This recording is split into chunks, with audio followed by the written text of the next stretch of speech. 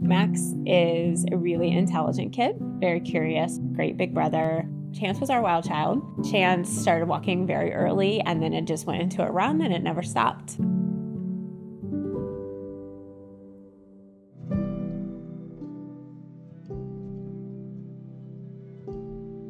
During COVID, we would start to go for walks, and then Max started complaining of being tired, would need to start sitting halfway through the walk, and then it kind of pretty quickly got to the point like end of the driveway. I'm exhausted. My legs hurt. I need to sit down. And Max gained 100 pounds in a year.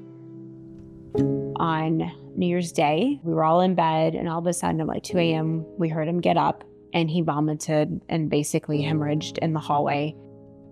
He spent a month in the PICU, and Max was diagnosed with ROHAAD. So, ROHAAD is an extremely rare disease. It stands for rapid onset obesity hypothalamic dysfunction, hypoventilation, and autonomic dysfunction. There are approximately 300 people worldwide who have this disease.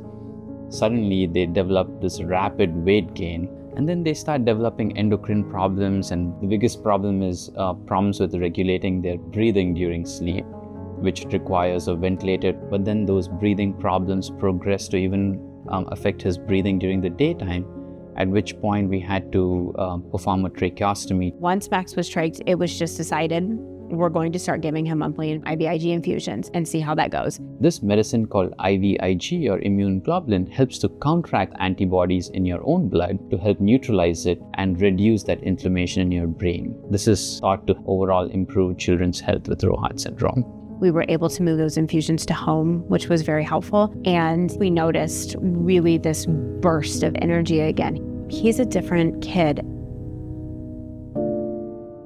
Chance started showing signs at seven. We just started seeing the small things that we had seen with Max. It's like standing in front of a train, knowing that it's coming for you and knowing that it's going to hit you. You've already seen it hit your best friend and your brother. Um, and so I think and that just was really a hard thing for us. We had to watch and just kind of wait. We didn't know is Chance's case going to be more mild? Is he going to show exactly the same way that Max does? He got started on the IVIG, and we are starting to see those perks back in his personality. We're very fortunate that our team is at Children's. We are one of the only families that I'm kind of aware of that doesn't have to travel for care.